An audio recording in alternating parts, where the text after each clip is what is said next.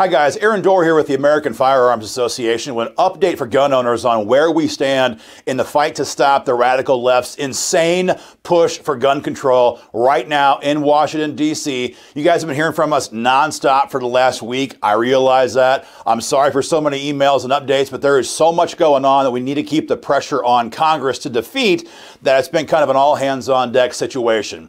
This video is going to kind of encapsulate the four main threats that we're facing right now, what these bills would do, and more importantly, the schedule on floor action on these votes, which is taking place next week. So, guys, here we go. We're going to break it down very fast for you. Number one, we have H.R. 7910. This is the major omnibus bill that was heard in committee this past Thursday. This is a massive eight, nine part different bill, all kinds of gun control crammed into one bill. This deals with bump stocks, uh, raising the age of when you can buy firearms, magazine limits, secure storage requirements that leave you unarmed effectively against a home invader, and a whole lot more. That bill cleared the Judiciary Committee this past Thursday. And again, H.R. 7910 is on the calendar for a vote. And as far as where our, our sources tell us right now on Capitol Hill, we're going to see a vote on this bill sometime between this coming Tuesday at 6:30 p.m. and approximately Thursday at 2 o'clock in the afternoon. The first vote next week will not be cast until 6:30 p.m. on Tuesday, and they're leaving early afternoon on Thursday. So these, this is the window on this bill. This is a huge omnibus gun control bill, guys. It needs your immediate attention. We have an action campaign set up for this. You can see it right here, stophr7910.com. Go there right now. That has a pre-written email, goes right to your congressman. It tells him, Republican and Democrat, different messages, but it tells them to vote no or pay the price on this going forward. That's number one. There's going to be a vote on this in the next couple of days. Take action fast. Number two, perhaps even a bigger threat right now, H.R. 2377. This is Congresswoman Lucy McBath, Democrat from Georgia. This is her bill to pass a national red flag gun seizure law. You guys all know what this is. This takes away guns from Americans who have never even been charged, let alone convicted of anything in a court of law. Almost anybody could say that you might be dangerous to a liberal judge in a secret hearing that you can never attend. And then the judge can say, you know what, we're going to grab the guy's guns and we'll figure out later on if he should ever have them back. This crushes the Second Amendment, Fourth Amendment, Fifth Amendment, Sixth Amendment, obliterates the idea that we're innocent until proven guilty, and it shreds your due process rights. But this bill has a massive number of co sponsors. It's already cleared the committee hurdles in the Judiciary Committee, and this bill will be voted on next week. Steny Hoyer, Democrat leader, has already announced there will be a vote. He did not give the exact date and time, but we know it's going to be between Tuesday at 6:30 p.m. and Thursday early afternoon. This is a huge, huge threat to gun rights because this is where the Republicans in D.C. are coalescing around. And so this is a real red alert, pardon the pun. I want to be clear before I move on. This is the bill that has so much Republican support.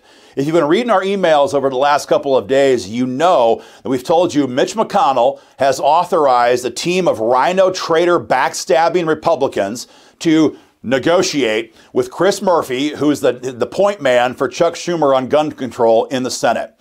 And these rhino traders, there's at least four of them. You've got John Cornyn from Texas, Lindsey Graham, South Carolina, Mitt Romney, Utah, Thom Tillis uh, from North Carolina. You've also got Susan Collins in there from Maine. This cast of idiots, their primary goal, they're publicly saying, is to coalesce around red flag gun seizures they are okay with some form of red flag gun seizures. And the National Rifle Association has not condemned this. In fact, they have previously very publicly spoken in favor of red flag gun seizures. Our sources right now on Capitol Hill are telling us that all of these rhino traders and all the rest of the ones who are kind of lurking in the shadows have been given the green light by the NRA to have some form of red flag gun seizure push. They might want to have a improved version of red flags and what that might include is removing the secret hearing portion of this legislation. But make no mistake there's no okay there's no good version of a red flag gun seizure the idea that an American can be disarmed, never having been convicted in court of a crime, is the absolute anathema of our due process rights and what it means to be a citizen in this country. But the Republicans in D.C. are actively working with congressional Democrats to make this happen. You must help us stop this. Go to stopredflags.com. This is the other action alert stopredflags.com. And this email goes to your Republican. Uh, and Democrat members of Congress, both chambers, House and Senate. And this has to happen, guys, right away. If you're watching in a red state right now and you say, well, these four fools don't represent me, I live in Iowa, I live in Missouri, I live in Ohio. Look, the cast of characters here runs really deep. Roy Blunt, Missouri, is openly talking about some form of gun control. Rob Portman, Ohio, longtime supporter of red flags and universal background checks. Um, you've got a lot of Republicans in the Senate right now who are very open to some form of compromise deal, and red flags is where they are coalescing. So take action no matter who your senators are. Number three, H.R. 8. This is the Universal Background Check National Gun Registry Bill that Joe Biden is constantly demanding a vote on in the Senate.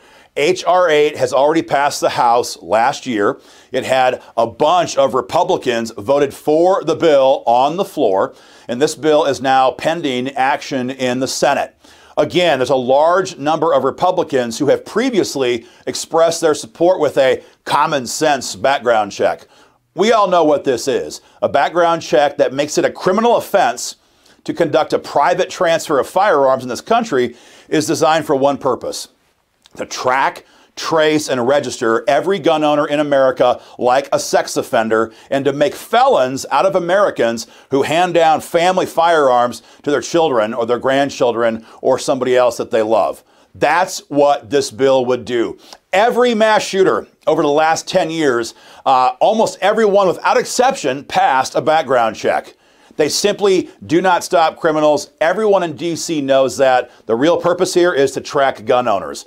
H.R. 8, that is the bill. It has been added to the Senate debate calendar by Chuck Schumer. What that means is that it's eligible for floor action at any moment. We do not have an exact date and time on this bill yet, but it was recently placed on the debate calendar. It is now eligible for a full, a full vote in the U.S. Senate.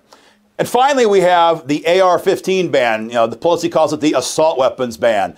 This legislation, H.R. 1808, the Senate version is S 736, makes it a felony for anybody in the country to buy an AR 15, or any one of hundreds of similar sister style firearms. This includes rifles, shotguns, handguns, hundreds of different makes and models. It's all listed off in their legislation. Hundreds of members of Congress, Democrats, have co sponsored this bill. 36 members in the Senate Democratic Conference have co sponsored the bill over there. Just a couple of days ago now, Pelosi has announced her intention to hold a vote on the floor on an AR 15 ban. We do not have clarity right now, as of this moment, on when this vote might take place. When we get that, we'll give you guys action alerts to, to, contact your members of Congress. But this is a big push right now for Nancy Pelosi. And here's the real problem with this we now have Republicans openly publicly in the news saying that they too will support making felons out of Americans who want to buy an AR 15 or similar firearms.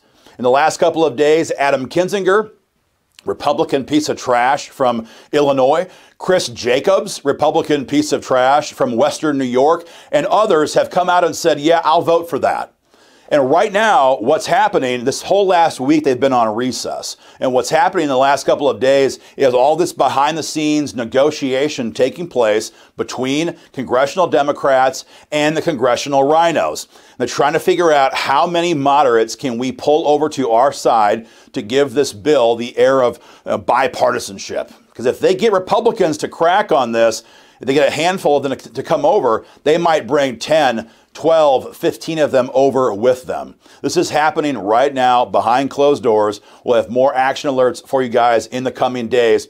But these are the four big bills. We know we're going to see a vote on these two right here this coming week. We, are not sure when we're going to see a vote on H.R. 8. It is eligible right now in the Senate. On the AW ban, we're going to wait and see. They've just announced their intention to hold that vote as well. Four major threats, guys. We have action alerts ready to go right now. StopRedFlags.com, StopHR7910.com. Go there. Take action Fire off your emails, make your voice heard, and guys, join our fight here at joinafa.org. That's www.joinafa.org and join this organization as we fight back in Washington, D.C. And guys, share this video everywhere social media, email, forward it to all your friends and family. Get everyone you know who cares about gun rights involved in this fight. It's going down next week in Washington, D.C. We need all hands on deck. Thank you.